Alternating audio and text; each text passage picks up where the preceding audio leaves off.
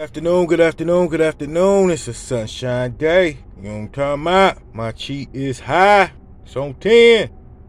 Add another zero. And then another one. And another one. You know what I'm talking about? Oh man, check this. And another one. Yeah, we in pause. we in Psalms. I keep calling it palms. We in we in Psalms 66. Please forgive me, y'all. You know, I'm feeling real. You know what I'm saying? Like energetic. I'm juiced up. You know what I'm talking about? Ready to get it on rocked out. You know what I'm saying? Have me a good day. I hope y'all having a good day. You know what I'm saying? And we in Psalm 66. And uh it was 15 that I was led to. And then uh Psalm 71. And it was four that I was led to. You know what I'm saying? So I'm gonna get that on right on up out of here. I just got through doing a little little routine joint. You know what I'm talking about? But yeah. It says, the hill of God is as the hill of Bashan. And hill, a high hill, and high hill as the hill of Bashan. Oh go over here, folks, check it out. Say, they that hate me without a cause are more than the hair of my head. They that would destroy me, being my enemies wrongfully, are mighty.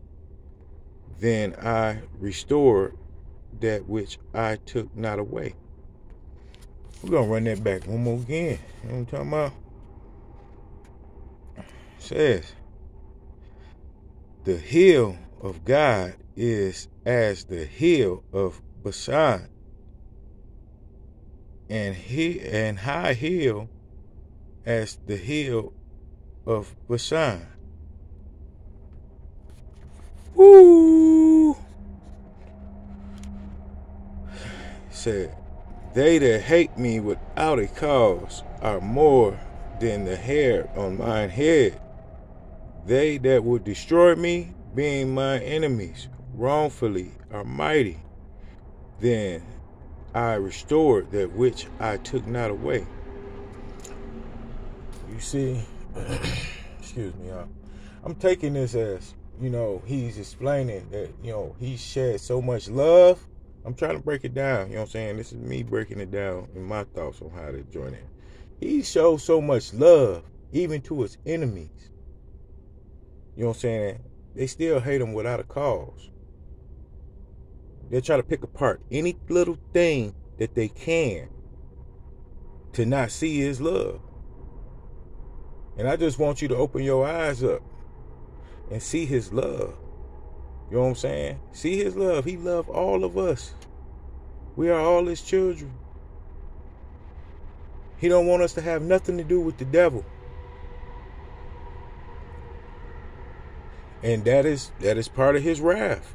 You know, you turn your back on God and you start talking to the devil, hey, it's a it's a iffy chance. I ain't even gonna say a 50-50 chance. If he, you know what I'm saying, allow you back into his grace. He gives you chances. We have free will. That's our chance. You understand? You know, and that's the only chance, just like between right and wrong, good or bad. You know what I'm saying? So, you know, this has been authentic or nothing. I hope this touched somebody today. I pray that it touched you. And you change your ways and you will see a difference. God never turns his back on you. Never. Later on now.